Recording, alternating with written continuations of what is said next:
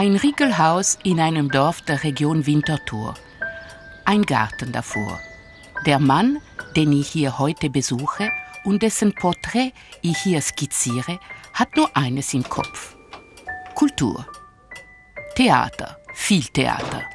Und Musik und Film und, und, und.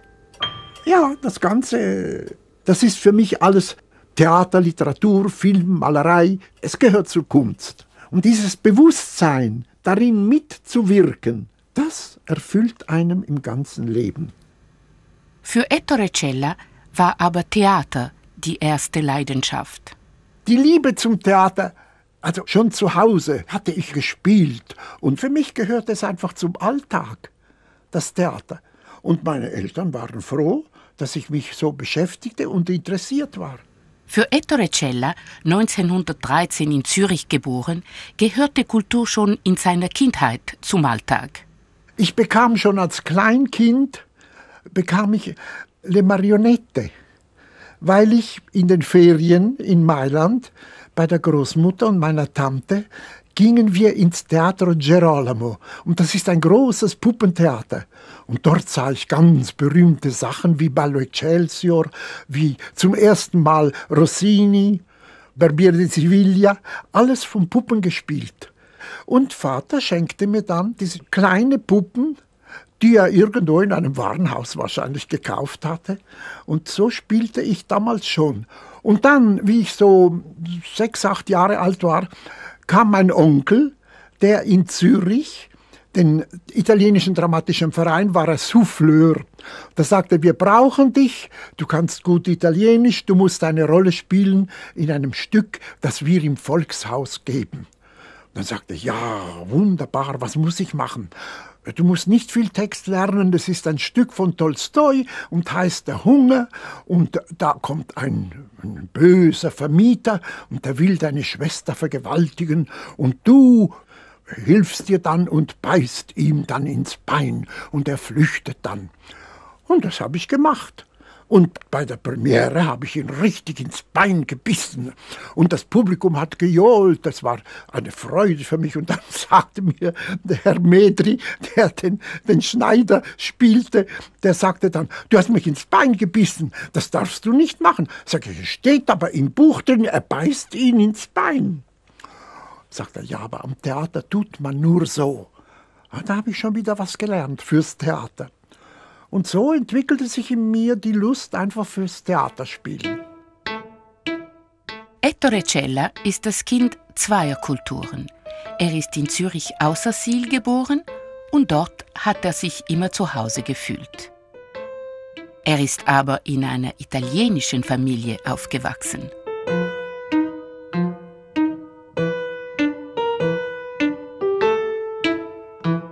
Mein Vater, der ja mit 16 Jahren in die Schweiz emigrieren musste, um Arbeit zu haben.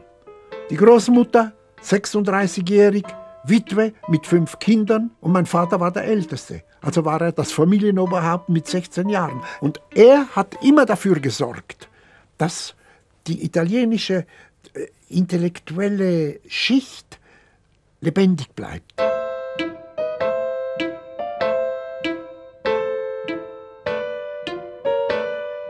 Ettores Mutter, Erminia Cella, war bereits verheiratet und hatte, obwohl noch sehr jung, schon drei Kinder, als sie Enrico Dezza kennenlernte. Mit ihm hat sie noch einen Sohn gehabt, Ettore. Weil eine italienische Ehe damals nicht geschieden werden konnte, haben Ettores Eltern nie geheiratet. Enrico Dezza war politisch sehr aktiv. Er war Mitglied der italienischen Sozialdemokratischen Partei Sektion Zürich. Er war zum Beispiel einer der Mitgründer des Ristorante Cooperativo für italienische Emigranten in Zürich. Das ganze Leben lang ist Enrico Dezza ein überzeugter Antifaschist gewesen. Diese politische Haltung hat auch seinen Sohn beeinflusst.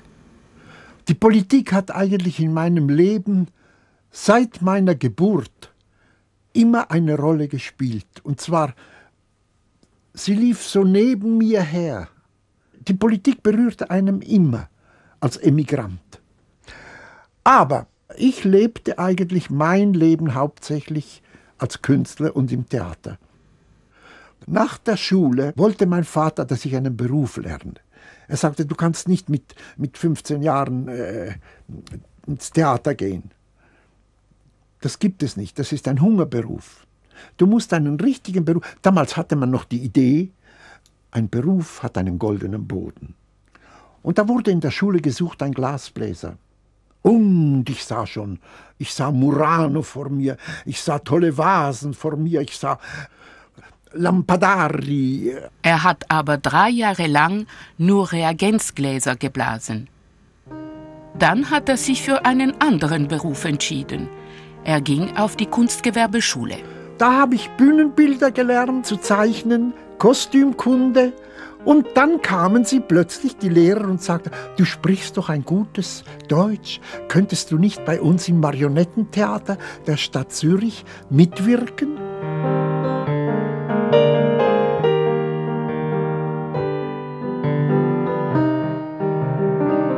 Durch das Mitspielen habe ich dann gelernt, in die Charaktere einer Rolle einzudringen. Ich habe zum Beispiel nie einen, sagen wir, Phonetikunterricht genommen oder ich habe nie eine, eine Schauspielschule besucht. Oh, ich war ein bisschen ein Naturtalent so. Nicht? Erstens ist es leichter, unser italienisches Temperament äh, hervorzubringen, neben den Schweizer Schauspielern, so, die eben geschult waren und von denen ich sehr, sehr viel gestohlen habe. Ich habe meinen Beruf so zusammengestohlen, muss ich sagen. Der junge Mann hatte aber auch Ideen. Und weil er aus einer anderen Welt kam, waren auch die Ideen manchmal anders. Ich habe schon mit 23 Jahren meine erste Regie geführt. Und zwar, ich war ja auch verrückt damals. Ich wollte ein Avantgarde-Theater gründen. Und das habe ich auch gegründet. Und mein Programm war damals La Voix Humaine von Cocteau, eine Schauspielerin. Und das habe ich übersetzt, ohne die Rechte zu verlangen. Denn äh, ich konnte ja nicht, es war Krieg, ich konnte nicht nach, nach Frankreich oder irgendwie mit ihm. Ich habe es einfach gemacht und gespielt. Bin dann später zu Cocteau gegangen und habe gesagt, das sind 80 Franken, das sind ihre Tantiemen vom Stück. Dann habe ich noch ein anderes Stück, ein Oscar Wilde gefunden, auch so avantgardistisch. Da hat mir die, die Hertha Bammert hat ihre Gruppe gestellt, so eine Tanzgruppe. Und da hat mir ein berühmter Zürcher, wie hieß er, Sulzbacher, der hat mir die, die Masken gemacht. Nicht? Ja. Und dann habe ich das mit Masken und mit Oedipus Rex habe ich gemacht vom Cocteau und Mirina vom Oscar Wilde. Und dann hatte ich kein Geld mehr.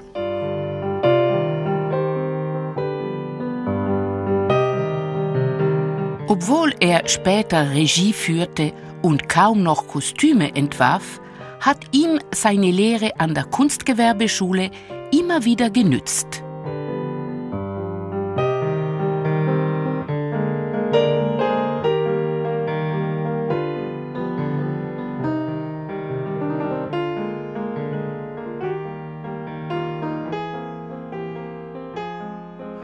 bin so weit gekommen, dass ich für die Landesausstellung 1939 damals die ganzen Kostüme entworfen habe für Was ihr wollt. In einem wunderschönen Theater, das leider abgerissen wurde nach der Landesausstellung. Als der Krieg kam, war Ettore Cella schon seit mehreren Jahren Schweizer Bürger. Er wäre bereit gewesen, Militärdienst zu leisten, aber seine Augen waren so schlecht, dass er ausgemustert wurde. Das rechte Auge funktioniert nicht richtig. Das hat nie richtig funktioniert. Man hat mir immer, ich habe lange Zeit, wusste ich nicht, ich hatte Angst. Als Schauspieler wollte ich keine Brille tragen, nicht? Und äh, dann hat mir ein ganz berühmter Professor getragen, gesagt, du brauchst keine Brille zu tragen. Nimm ein Monokel, das genügt dir. Du kannst mit dem Monokel dein Auge korrigieren. Und seit damals habe ich immer mein Monokel gehabt. Obwohl er militärisch untauglich war, hat er dennoch Dienst geleistet, auf andere Art. Die Kabarett damals hatten alle, so wie das Cornichon in Zürich, war die Restleriti in Basel. Und die hatten alle Programme mit vielen Nummern gegen den Nationalsozialismus, gegen den Faschismus. Ich habe in diesem Kabarett Restleriti vier Jahre lang. Da habe ich die Bühnenbilder gemacht, da habe ich die Kostüme entworfen, da bin ich aufgetreten mit Nummern und also es war großartig. Das war Kampf, geistiger Kampf gegen den Faschismus. Das hat mich gereizt. Da fand ich es sinnvoll, Theater zu spielen, nicht nur Unterhaltung, sondern eine Aussage zu machen. Denn mein Vater hat mir immer gesagt, du kannst machen, was du willst, aber du musst mir keine Schande machen und wenn du etwas machst, muss es einen Sinn haben. Daran habe ich mich gehalten. Parallel zum Theater kam Ettore Cella in Kontakt mit dem Film. Zuerst als Schauspieler. Zum Film kam ich eigentlich sehr früh. Aber zum richtigen Filmgeschäft kam ich durch Kern. Der wollte im Tessin einen Film drehen, hatte kein Geld. Er beauftragte Virgilio Gilardoni mit dem Drehbuch. Und der hat ein Drehbuch geschrieben, und zwar eine Geschichte von einem Tessiner Jungen, der in Zürich ist und die Nachricht bekommt, er erbt Millionen von einem Onkel aus Amerika.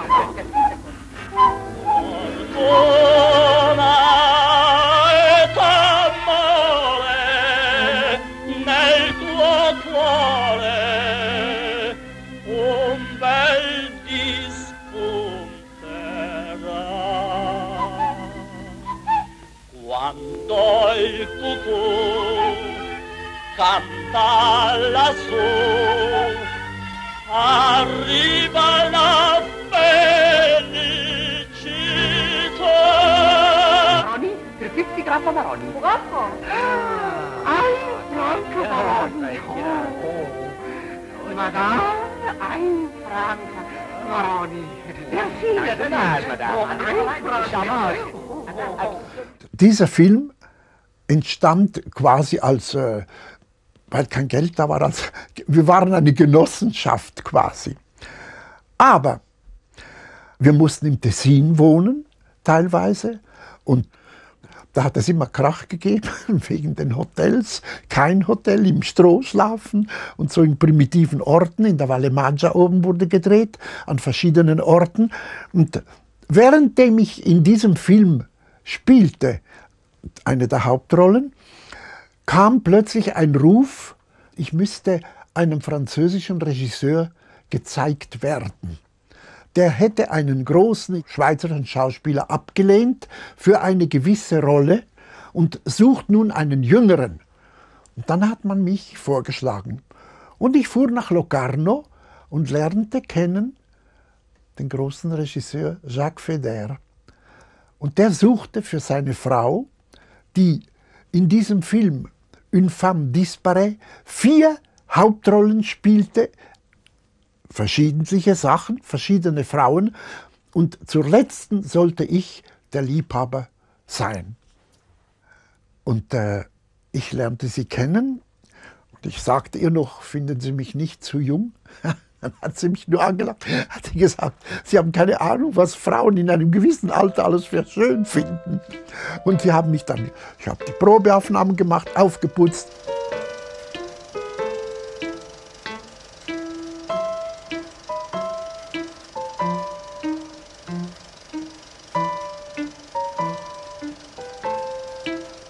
Und es war eine wunderbare Sache, denn zum Unterschied vom Film, den ich oben in der Valle Maggia noch fertig drehen musste, das war eine ganz primitive Gesellschaft, wie in der Schweiz. Jedes Mal, wenn ein Film gemacht wird, muss man alle Leute wieder erst zusammensuchen. Und plötzlich kam ich in eine Gesellschaft mit ich, ich habe die Augen aufgerissen. Da war ein Maskenbildner, ein Assistentmaskenbildner, da war ein Chefkameramann, Kelbert, ganz berühmter Franzose, also russisch-französischer, da war Kelbert, Chef der, der, der, Fotografie. Da war erster Kameramann, zweiter Kameramann, dritter Kameramann, da war ein Skript, da war eine für die, die, die Folgen. Und da war, also ich kam in eine große Filmproduktion hinein. Es waren alles Leute, die geflüchtet waren aus Frankreich wegen der deutschen Besetzung. Un grand sagouin, voilà ce que t'es. Un dégoûtant et un adulterio. Un sagouin. On va t'expliquer. Je ne m'explique pas avec les sagouins. Les sagouins. Ah, je les méprise. Comment Qu'est-ce que tu dis Tu méprises Giacomo Caretti. Tu méprises les Caretti. Tu méprises les artistes. Le peintre, le ténor et le poète. Porca miseria. On va voir. Zara! Où que t'es? Zara!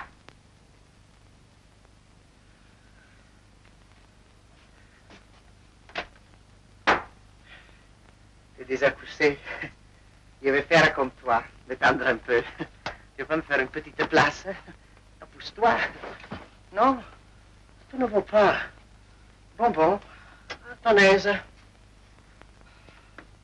Qu'est-ce qu'on disait? Ah oui, je me souviens. Ah, si tu les entendais, elles me supplient, eh, elles pleurent. Alors, des fois, je suis sûr que tu m'approuverais. Bien sûr que je t'approuve. vale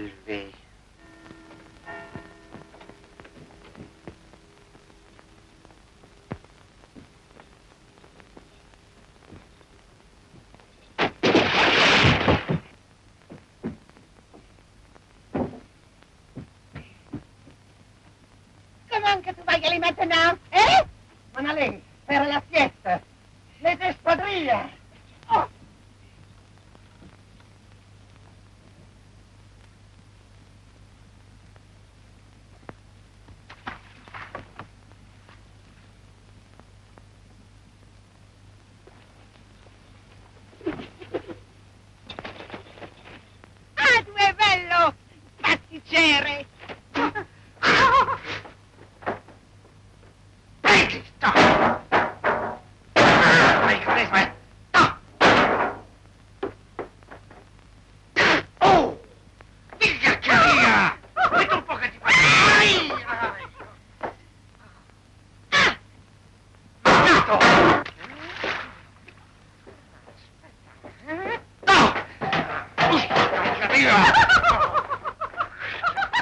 Françoise Rose war unermüdlich. Sie war in den Proben einfach genau wie in der Aufnahme. Sie war eine Frau der Präzision. Und das habe ich von ihr gelernt. Im Film gibt es nichts, nur die Präzision. Nicht? Man muss die Kopfhaltung, man muss das einhalten, man muss wissen, wie groß das Bild wird, wie weit das Format ist. Und beim Kern, da, der Kern kam eben vom Dokumentarfilm.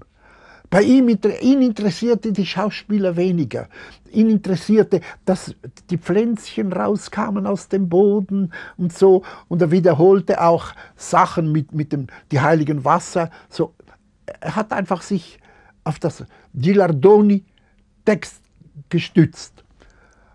Nachher hieß es dann, ja, Cella spielt eine Rolle, äh, er ist, nicht, er ist ein Italiener und ist kein Tessiner und spielt eine Tessiner Rolle, worauf ich dann geantwortet habe, Greta Garbo spielt Anna Karenina, ist keine Russin, sie spielt Kameliendame, ist keine Französin. Ich bin ein Schauspieler und die Greta Garbo ist auch eine Schauspielerin. Und Feder kümmerte sich überhaupt nicht um solche Sachen. Er schaute nur auf das Spiel, auf den Text und auf, auf, das, auf das Bild. Das war ihm die Hauptsache.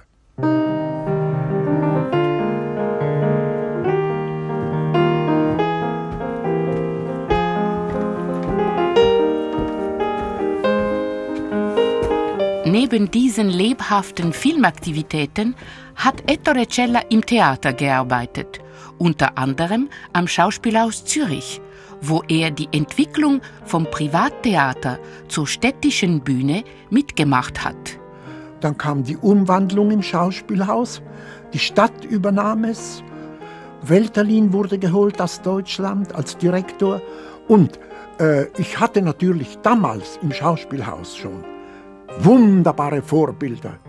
Therese Giese, Horwitz, Parylla, die waren alle schon da, geflüchtet aus Deutschland, aus Berlin, aus Wien.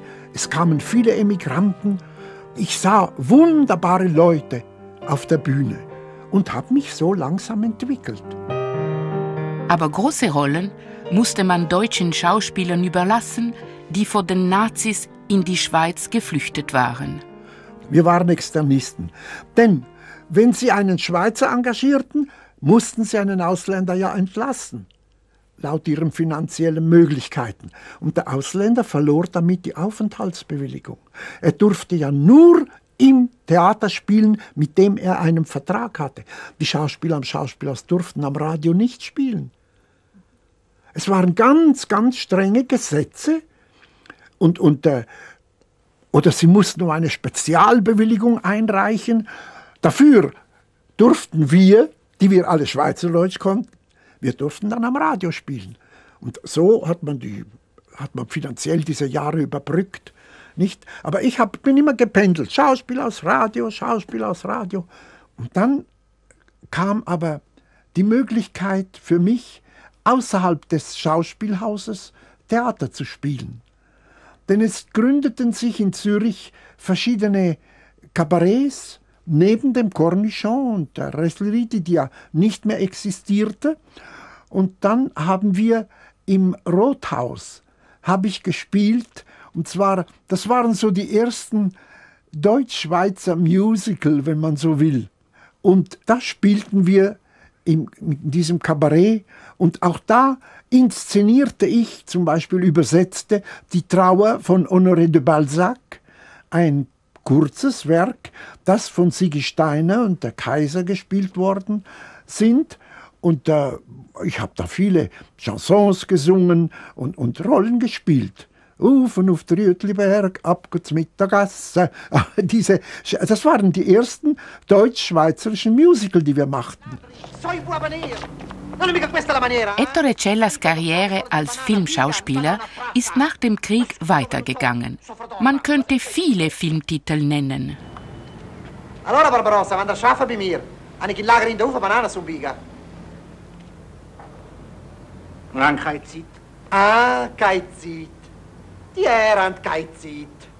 Dann mach ich das sofort damit, aber schnell, Fuliadler. Ettore, wo ist denn das Hotel? Hier, hier, hier, hier. Schauen Sie. Überall ist der Hotel. Gratis.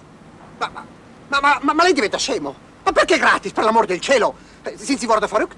Der bekannteste Film aus dieser Zeit war zweifellos Bäckerei Zürcher.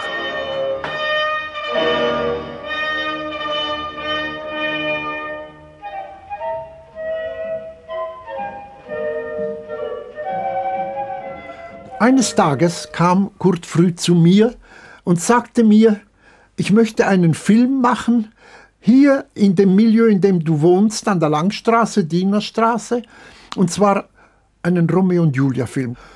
Dann habe ich gesagt, ja gut, und, äh, was, soll ich, was soll ich drin spielen? Du müsstest mir den Vater der italienischen Familie spielen. Den schweizerischen Vater spielt Heget Schwieler der ist, hat eine Bäckerei in meinem Stück und aber das müsste alles hier im Viertel geschehen. Und ich war vom Drehbuch begeistert. Denn in diesem Drehbuch hat er die ganze Problematik der Schweizer Familie und der italienischen Einwanderer, die, deren Kinder diese, diesen Unterschied gar nicht mehr kennen und sich verlieben. Und die Eltern stemmen sich, der Italiener sagt äh, so wie unser Donne buoi dei paesi tuoi, also Ochsen und Frauen aus deiner Heimat.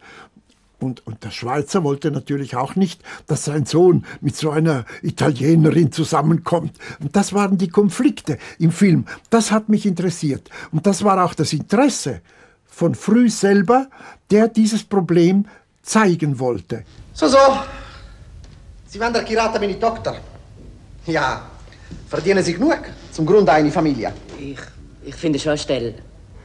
Vielleicht in der Genossenschaftsbäckerei, oder? Genossenschaftsbäckerei, warum Sie nicht schaffen bei Ihrem Vater? Ist doch keine gute Lade, der Bäckereisführer. Ich wollte ich wollt jetzt halt auf eigenen Füßen stehen. Ah, guarda, guarda sta gioventù. Will auf eigene Füße stehen. Sentito, Mama? Und frage, wann Kind wird geboren. Come? Hier immer meine, eine Mutter mehr genügt. Misericordia, è vero. È vero, parla. Mi dicevi sempre lasciala andare, ora hai visto. Parla, parla! Lasciala, lasciala. Adesso è troppo tardi. Jetzt mit München geh ein von nichts als ciclismo, ve fare in Kopf.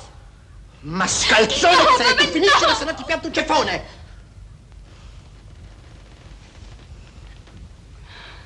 Studergina Gern, Ma cosa vuoi che dica finitela.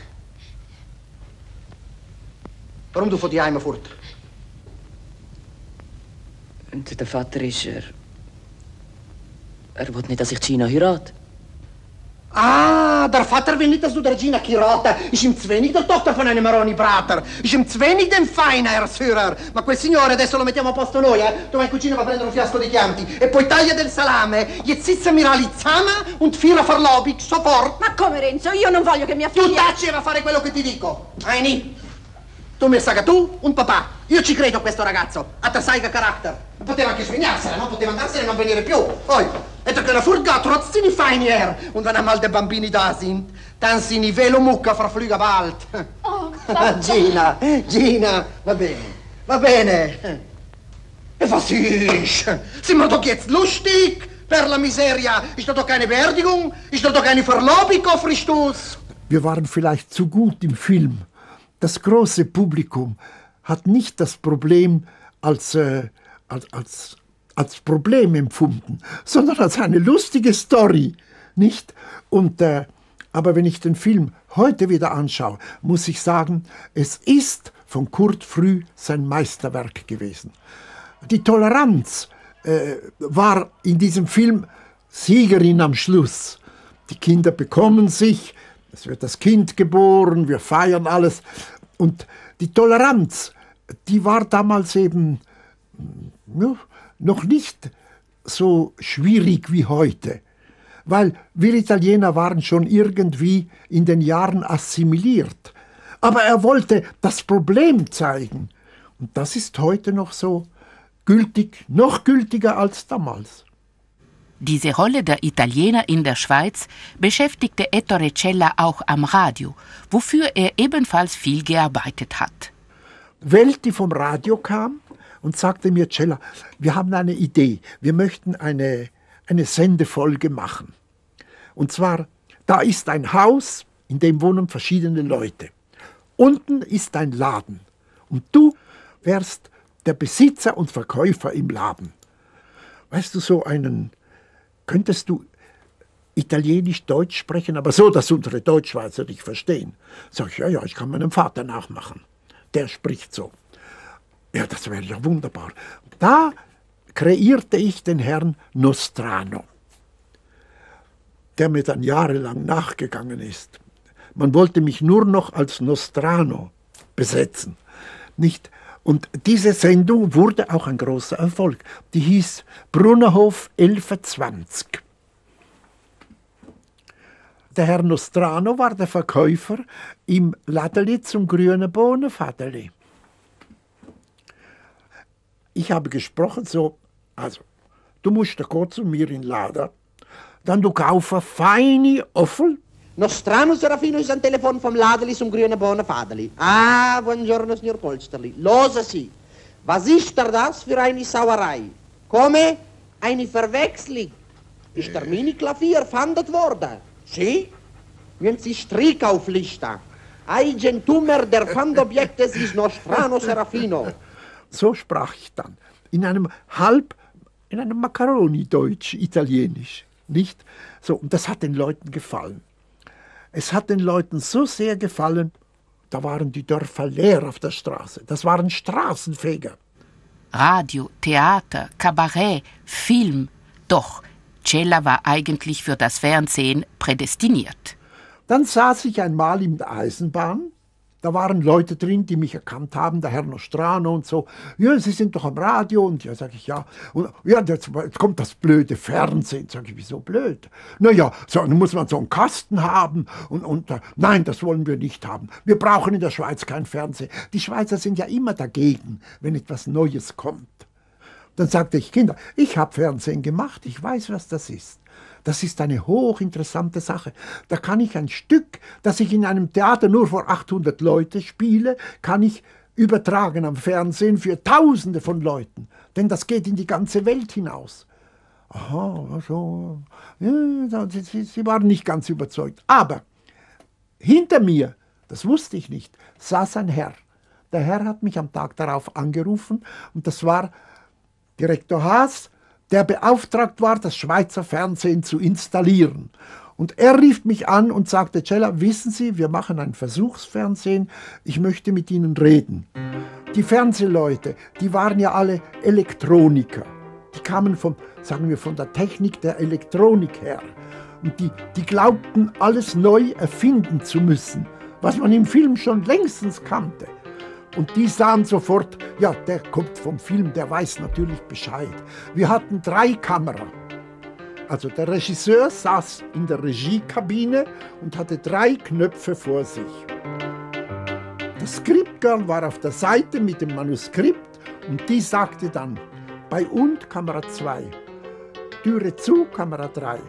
Bis ich dann reklamierte und sagte, Kinder, mich interessieren diese drei Knöpfe überhaupt nicht. Ich muss kontrollieren als Regisseur, wie spielen Sie, wie ist das Bild konzentriert, wie geht das zu im Fernsehen. Das muss ich konzentrieren. Die hatten auch keine Ahnung von Schuss und Gegenschuss. Wir haben auch mit Gegenlicht gearbeitet. Nicht nur ein Scheinwerfer, wie sie es machten, Klatsch ins Gesicht und hinten war dunkel nicht und man hat keine Silhouette gesehen. Und wir arbeiteten ganz langsam und so entwickelte man mit anderen Regisseuren, mit Burkhardt und mit Hitzig zusammen, entwickelten wir das Zürcher Versuchsfernsehen. Ettore Cella gehört zu den Pionieren des Fernsehens in der Schweiz. Anschließend hat er während mehr als 30 Jahren als Fernsehregisseur gearbeitet und war an Hunderten von Sendungen beteiligt.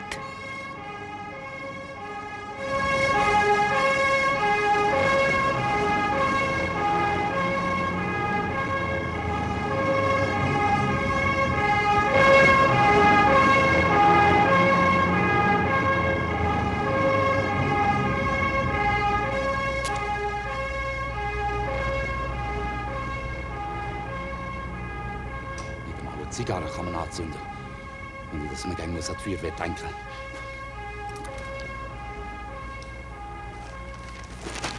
Zum Kotzen so etwas.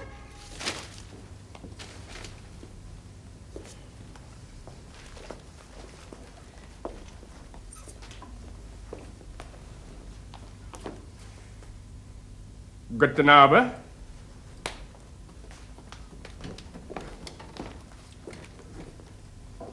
Eure Zigarre. Evidemment, Haïti quand même.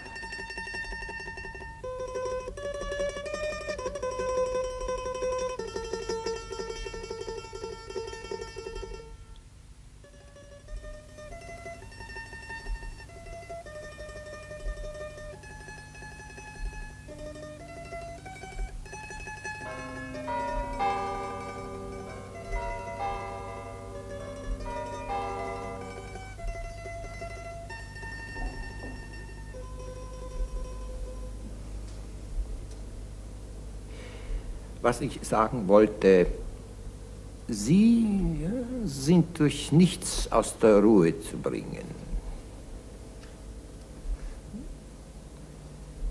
Sie haben den Zug versäumt. Um eine Minute. Ich komme gerade auf dem Bahnhof an und da fährt er mir vor der Nase weg.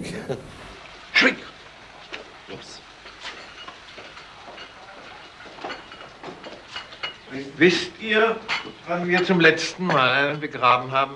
Das war vor dreieinhalb Jahren. Jetzt pass auf, Die Mutter Bäume fallen. pass auf. Die Kamera wird diese Position haben und so mit dir machen, so mit dir rumgehen.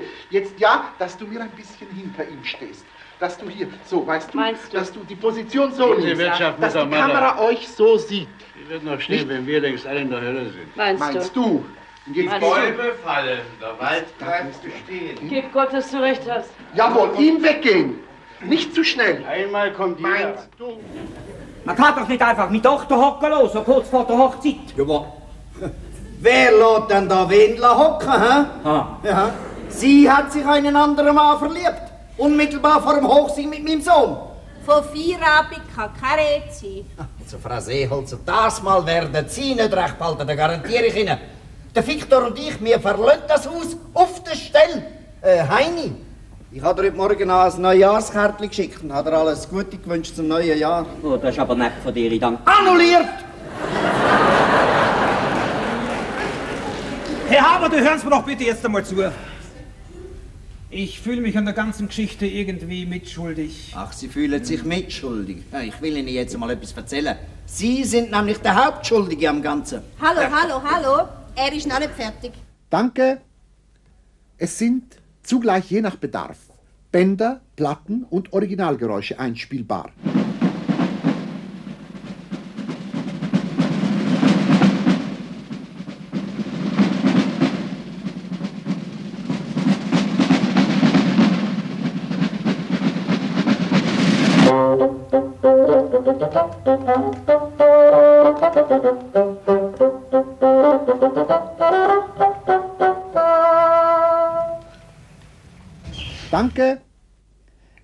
Sie der Regisseur Ettore Cella.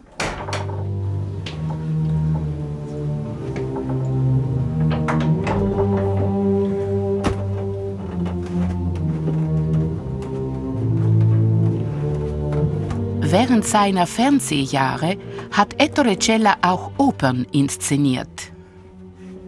Sein Lieblingskomponist ist Donizetti.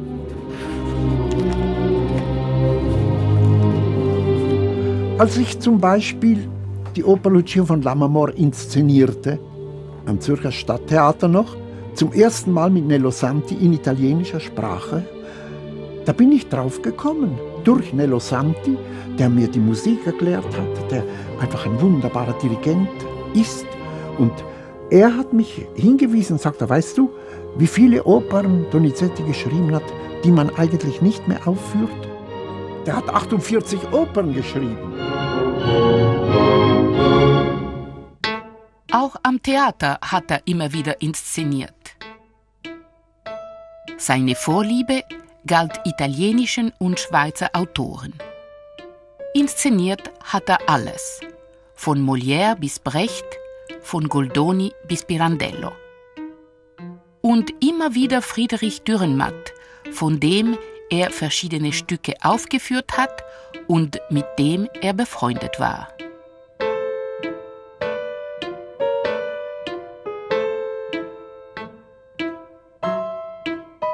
Man konnte wunderbar mit ihm arbeiten. Er hat mir als Dankbarkeit noch ein Bild geschenkt. Ja, und ich habe ihn auch noch besucht bei ihm zu Hause und wollte eben den Stall des Augias, Herkules oder den Stall des Augias, auf Schweizerdeutsch machen, um, um dieses Stück zu einem Erfolg zu bringen. Und er war einverstanden, nachdem ich Besuch der alten Dame auf Berndeutsch gemacht hatte. Da sagte er mir doch, weißt Stella, man sollte nur noch Berndeutsch schreiben. Man sollte nur noch Berndeutsch schreiben. Er war ein Intuitiver. Ich hatte ihn gern, ich mochte ihn gern.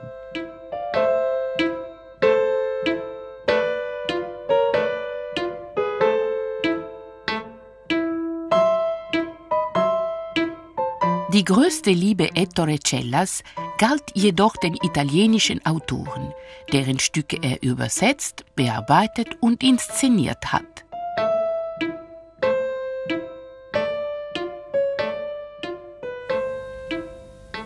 Ein Beispiel Joppolo.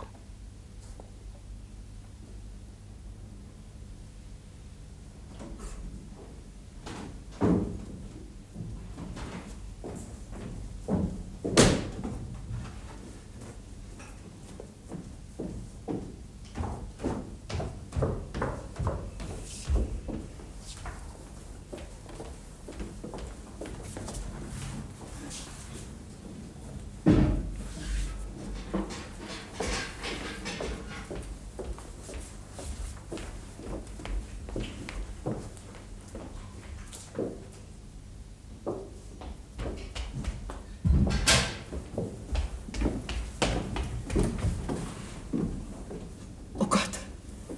Was ist denn? Die Karabiniere. Ich habe mich immer für die italienische Kultur eingesetzt. Und zwar, ich wollte einfach, dass sie bekannter wird in deutschen Landen. Ich bin bis Holland gegangen. Ich habe dort inszeniert italienische Stücke. Und das war mir einfach ein Anliegen. Das hat mir mein Vater wahrscheinlich mitgegeben. Ich fand immer, der Schweizer oder die Deutschen wissen zu wenig über das jetzige Italia, über den Faschismus, über all diese Sachen. Und so setzte ich mich ein und übersetzte viele Klassiker, die es nicht gab. Es ärgerte mich jedes Mal, wenn sie sagten, wir spielen einen Machiavelli. Was spielt ihr? Immer das Gleiche. Tu non puoi dir niente, tu sei sempre lo stesso, eh, perché io voglio avere...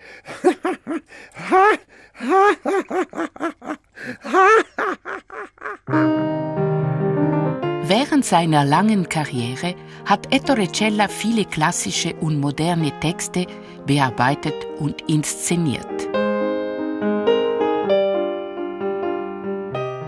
Viele Leute hat er persönlich kennengelernt.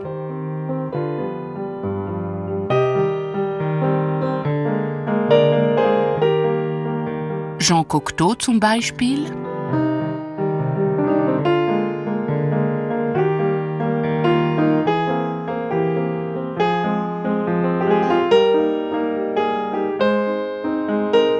Oder Bertolt Brecht.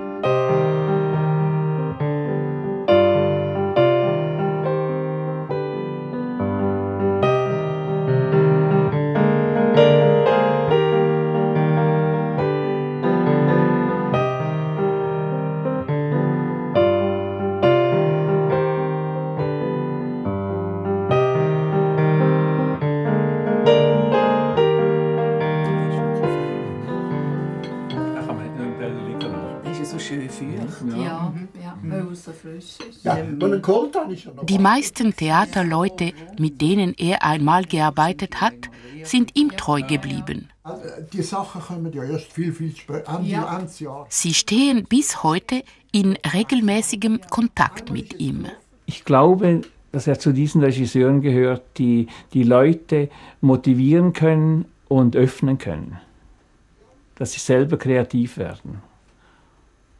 So habe ich auf jeden Fall bei der Arbeit ihn gespürt. Er weiß, was er will und halbe Sachen duldet er nicht, aber sehr angenehm. Mein professioneller Eindruck von ihm, es ist ein, ein ungeheurer Arbeiter, also ein intensiver Arbeiter. Und äh, künstlerisch habe ich ihn halt sehr gern gehabt. Ich mochte immer sein Temperament und ja, als für mich war er ein, immer ein wunderbarer Regisseur. Schwierig manchmal. Also das heißt nicht, dass er nicht auch ganz hart sein konnte. Und eben, sein Temperament war manchmal auch mm, zum Verstehen, was er meint. Das war manchmal gar nicht so einfach. Schau mal mit der Eins, ob du da reinkommst. Dann wurde ich 65. Du wirst jetzt pensioniert. Aus, fertig.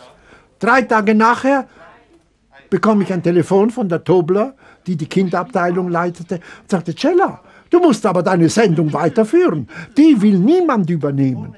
Und die habe ich noch zehn Jahre weitergemacht, jeden Monat eine Sendung. Und dann, wie ich 75 war, habe ich gesagt, jetzt habe ich die Nase voll und die Zeiten haben sich gewandelt. Ich wollte nicht mehr eine Entwicklung mitmachen, für die ich nicht mehr kompetent war. Da habe ich aufgehört.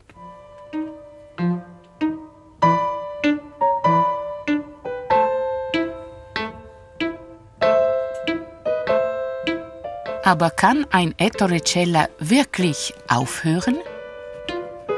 Ich bin jetzt in einem gewissen Alter.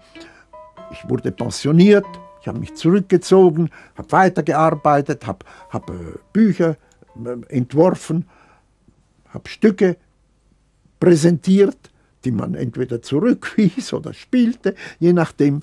Und plötzlich bekomme ich einen Anruf von einem ganz jungen äh, von einer, der in einer Filmschule in Lausanne ausgebildet worden ist. Dymena. Und er rief mich an und sagte, Herr Cella, ich suche einen, äh, entschuldigen Sie, alten Mann. Sage, bitte nicht zu entschuldigen, ich bin alt. Ich habe dann den Film mitgemacht. Wir haben ihn in Uster im Spital gedreht. Ich, es war wunderbar. Ich lag den ganzen Tag im Bett und es war schön, diese ganze Sache zu machen. Und das wurde der Film Nachtwache.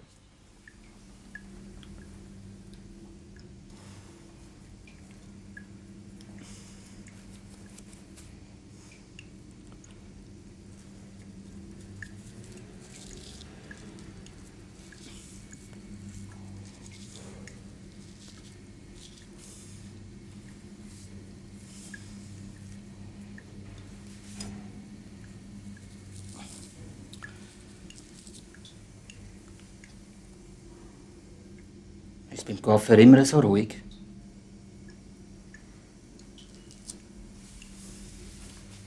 Nachdem der Film fertig war, ich fand ihn gut, ich fand ihn schön, so kamen viele Cineasten auf mich zu und sagten, Cella, warum spielen Sie nicht Film und so?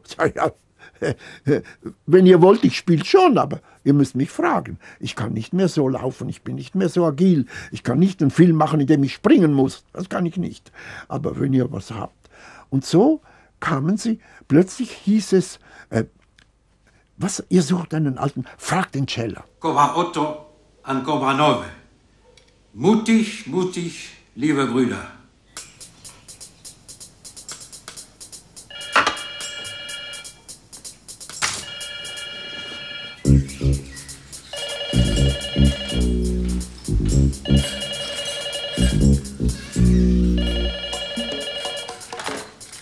Müller?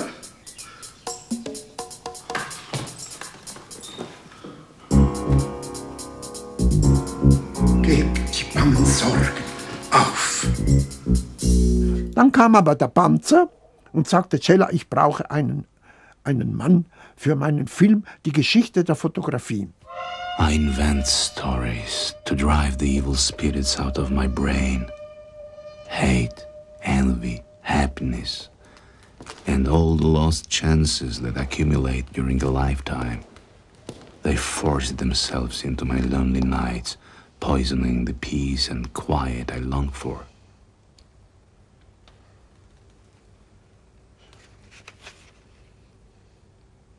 I must invent a story. A story to keep them away. A story to help me make it through another night. Am Schluss, wie der Film fertig war in Lausanne, bei der Erstaufführung, habe ich bemerkt, dass ich ja die Titelrolle spiele. Ich bin immer wieder drin und ich erzähle den ganzen, die ganzen Film durch, bin ich der rote Faden, der diese ganze Geschichte erzählt. Und dann kam plötzlich Lüthi und Blanc. Der junge Furter rief mich an und sagte, Cella, wir sollten Sie haben. Darf ich Ihnen meinen Vater vorstellen? Das ist jetzt Lisbeth Rohner. Sie hat Nathalie großgezogen. Grüß dich. Können Sie mir weg mit dem Kind? Ich will nichts davon wissen. Soll der Vater sich um sie kümmern? Der, der. Das ist ein Skandal. Wo ist meine Tochter? Ich bin doch da. Kein Wort mehr wollte ich von dem hören. Das ist nie passiert. Verstanden? Bin immer noch viel besser gewesen wie du, Elian. Ich bin noch nie gut gewesen. Das ist die Mama gewesen.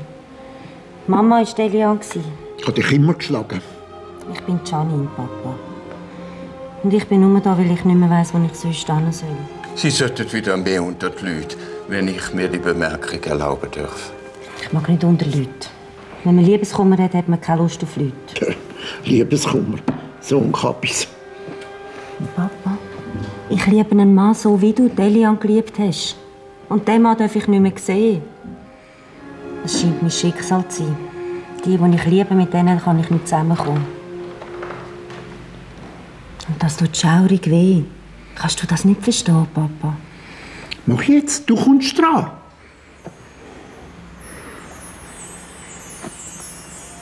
Und ich muss sagen, es war eine wundervolle Arbeit.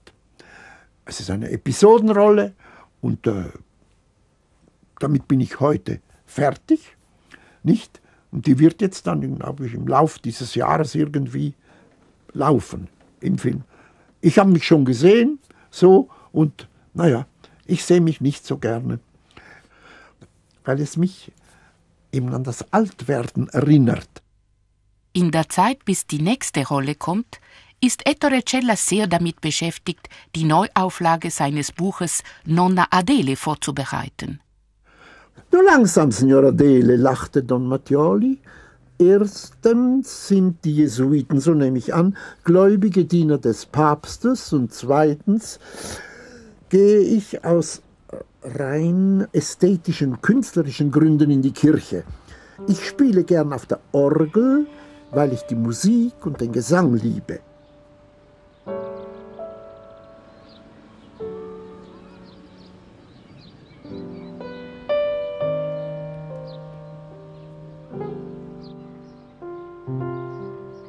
Mein Leben habe ich gelebt, lebe es noch, genieße es und das ist mir die Hauptsache.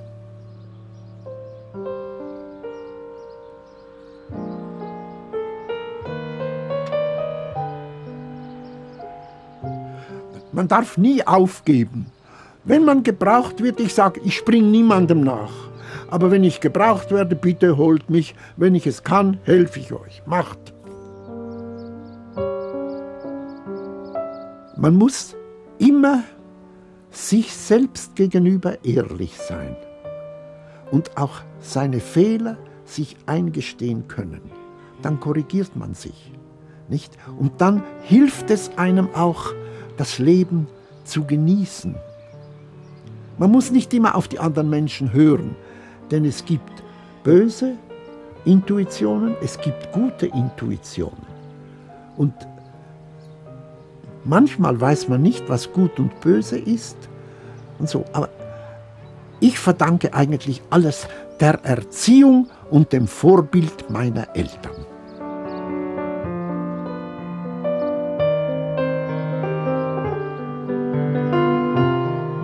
Mein Vater hat immer gesagt, man darf bei jeder Niederlage die Hoffnung nicht verlieren. Die habe ich nie verloren. Ich hoffe immer, dass es weitergeht. Ich hoffe, dass ich Hunderte werde.